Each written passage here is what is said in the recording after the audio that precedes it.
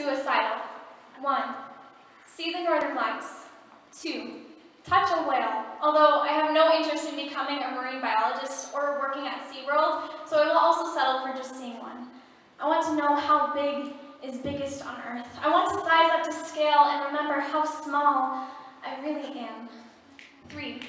Have a good day.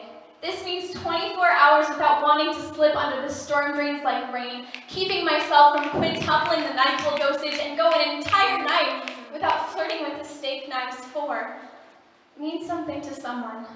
I have written enough love letters, I could repurpose them as wallpaper, but perhaps the greatest fault in being a writer is having countless ways to tell someone I love you and only hearing one way back. Five, sit under a thunderstorm and get Pacific Ocean drenched.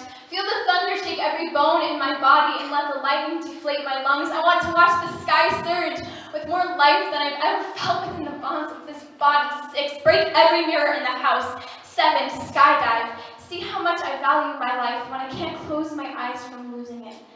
Eight, kiss him like a last letter. Let him touch everything but my sleeves. Nine, I'm not writing this list as a joke, but more like the way my grandmother tells me to go everywhere that isn't wheelchair accessible. I am her two good legs, her two vicarious good legs with buckled knees. Yes, more nights than not, I want to die, but I just want to make sure I'm not missing the best parts. 10. Live long enough to hold his hand across the rocking chairs. 10. Laugh with your granddaughter when she asks to paint your nails electric purple.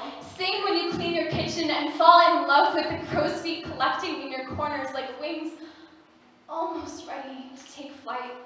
10. Live long enough so watch it happen. Thank you.